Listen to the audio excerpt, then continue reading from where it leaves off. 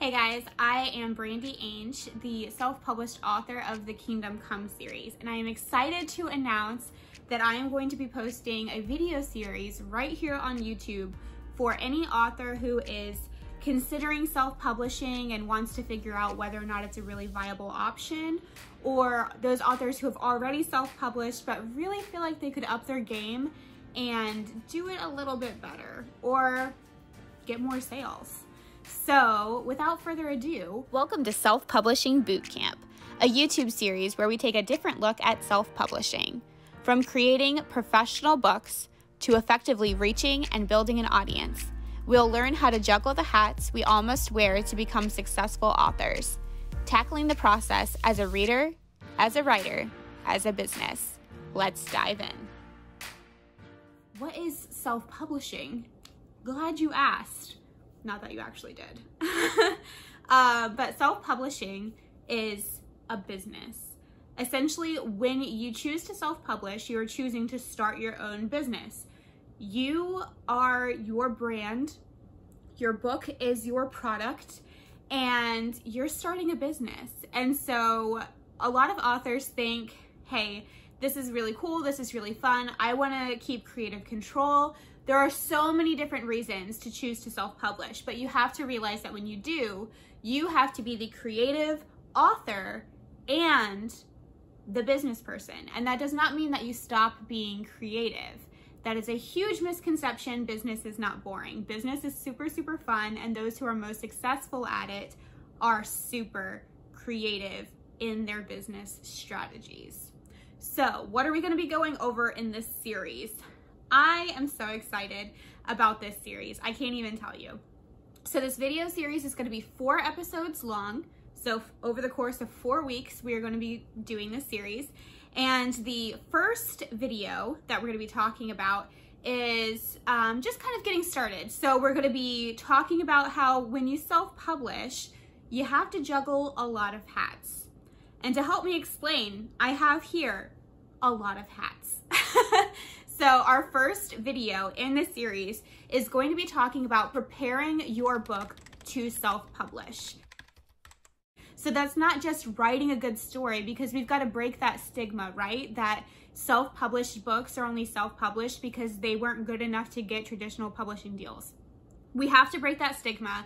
And the way to do that is by self-publishing really high quality books okay? Like we've we've got to get together on this and and make this happen okay? So we've got to put together a good product.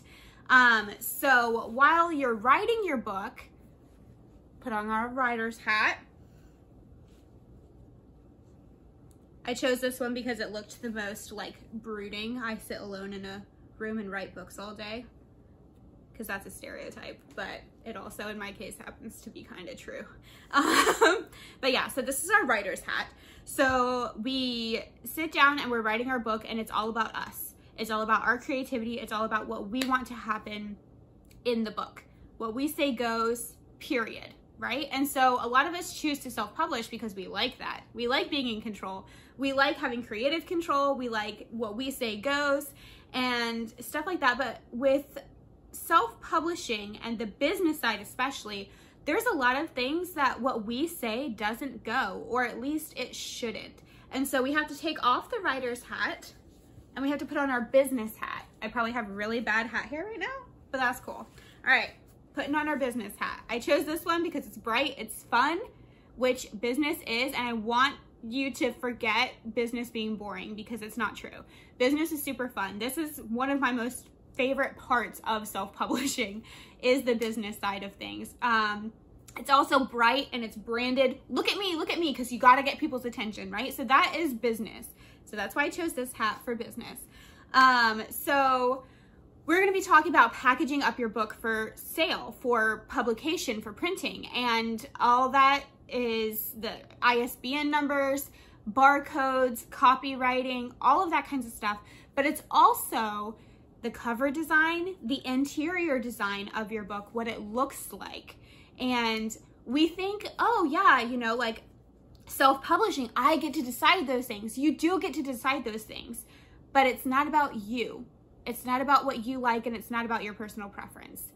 It's about what your reader wants to see, what they expect to see. So when we talk about those things, we're going to be putting on our business hats. Um, so we're going to be talking about industry standards. We're going to be talking about expectations, genre, um, you know, all of those things that readers readers when they're shopping are looking for to see in your book. Um, because I'm also really sick of seeing self-published books with god-awful covers, like hideous covers. Like someone, the goal is someone walking through a bookstore, just glancing at your book next to all of the other books on the shelves shouldn't cringe and say, oh, that one's self-published. It should blend right in with the traditionally published books. And we're going to talk about how to make that happen.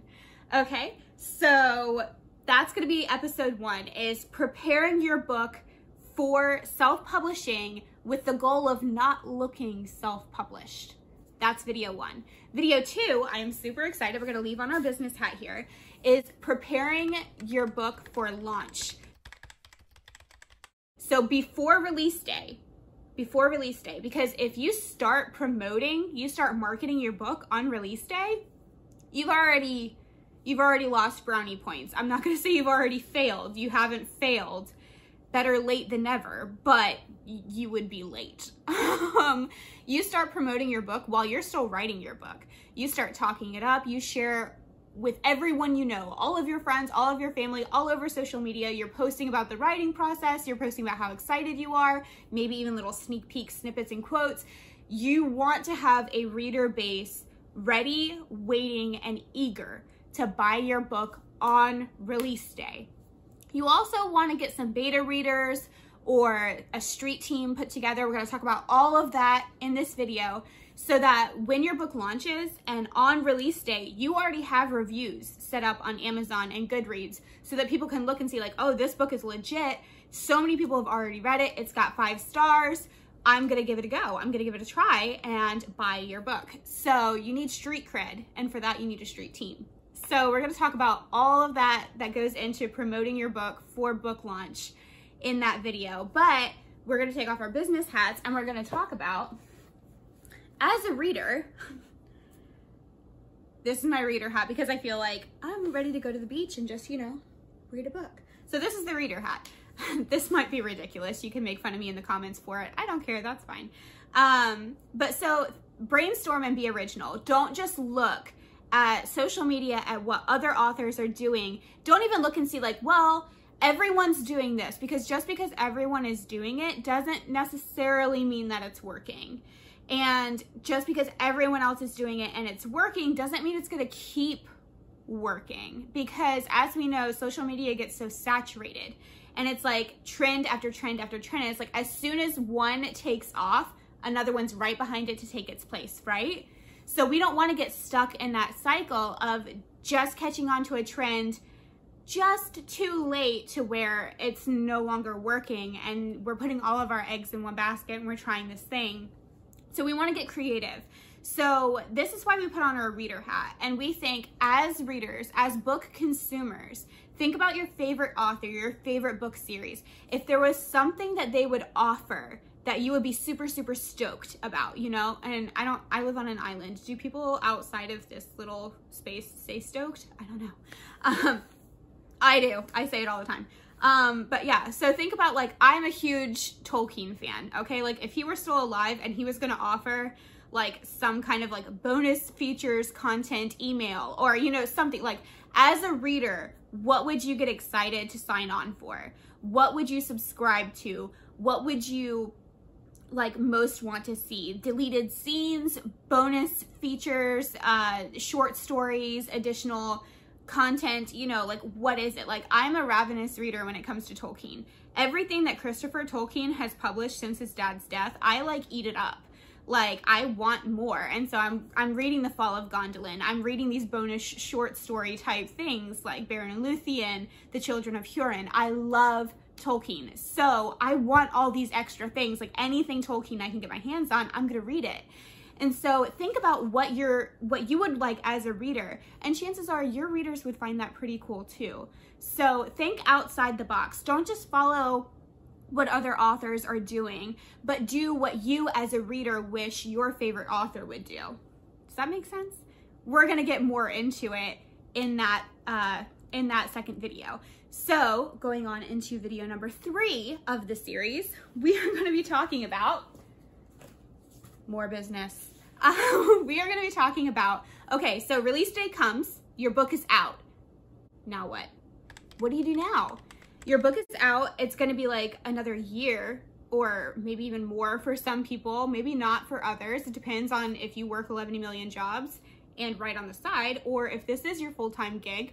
Um, what do you do to keep your readers engaged? Okay, so they got super into your promo. They were waiting and eager, and your book came out. They bought it. They read it in like 24 hours. They stayed up all night reading it.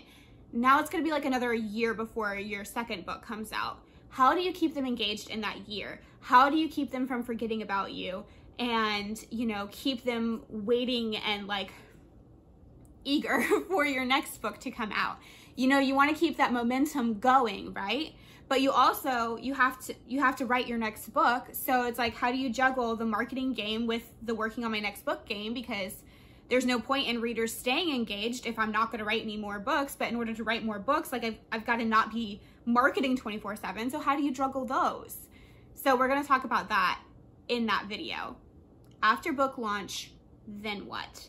And then in our fourth video of the series, we're going to talk about how to make it sustainable.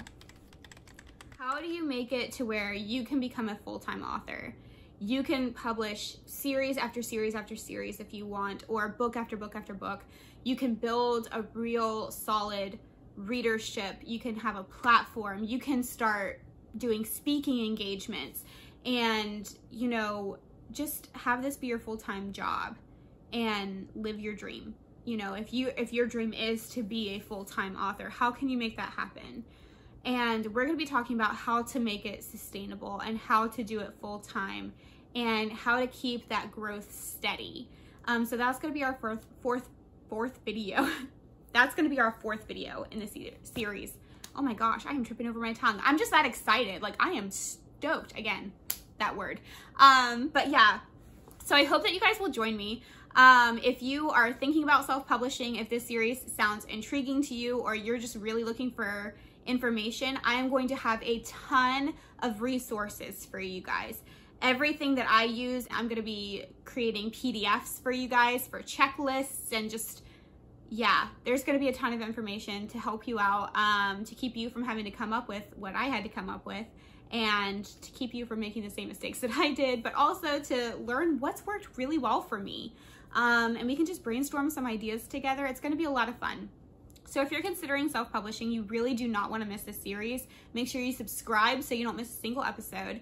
Comment down below and let me know which episode you're most intrigued to see and what you're kind of hoping might be in those videos.